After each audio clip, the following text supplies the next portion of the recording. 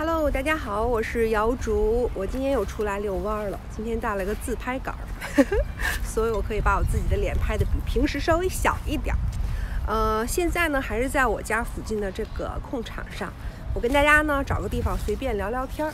嗯，我看这儿不错，咱们就在这儿聊聊吧。啊，接下来呢，我跟大家来聊聊，就是关于新西兰免费隔离的这个事儿。之前不是说新西兰入境的时候是可以免费给大家来隔离住酒店的嘛？那么这个时间就是自从必须隔离住酒店这种必须隔离，差不多已经有四十天了，是从四月十号开始的。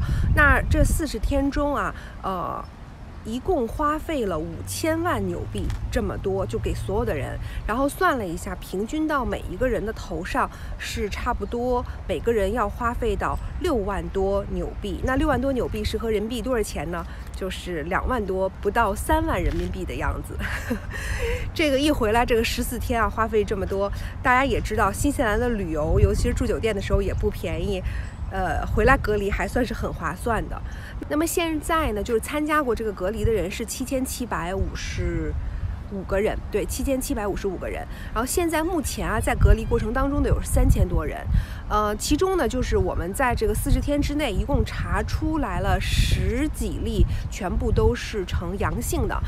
那其中呢，一个人呢是来自于澳大利亚的，当时，然后还有另外一个人，呃，就另外的十一个，呃，另外的十二个人是呃美国的过来的。那么目前呢，参加这个隔离，就是目前在隔离的人数当中是有三千多个人是正在隔离呢。然后，呃，其中呢，就是呃，现在说酒店一共有十五个奥克兰的酒店在参加，然后有两个是基督城，呃，惠灵顿的酒店在参加。那接下来呢，基督城的酒店可能也会呃参与进来。但是其实现在来说啊，就是已经有百分之八十的饱和度了。因为新西兰本身酒店它国家小，本身也不会有太多的酒店。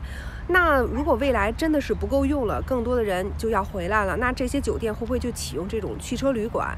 但如果启用了汽车旅馆的话，我觉得可能就更加的不好管了。之前也跟大家说过，住五星级大酒店还有人往外逃呢，就逃完了之后又给逮回来的这种也是出现过的。另外呢，就就是费用这一块，大家也会觉得非常的多哈，其实真的是挺贵的，因为这些费用就包。括什么保安啊、吃啊，因为我之前给大家放过一个视频，这个里面是包吃包住的，然后还有这个保安系统啊等等，所以呢，就是从这一方面就觉得花的也很多。接下来呢，政府就是说可能也会降低这一块的支出，嗯，有相关的部门啊就提出来说，能不能让这个留学生啊，或者说是旅行者啊，他们如果就是入境之后未来需要强制隔离的，那这种。他们要自行承担费用，或者说需要自行承担一部分费用，要不然真的确实是挺高的，六千多纽币，两万多，将近三万人民币。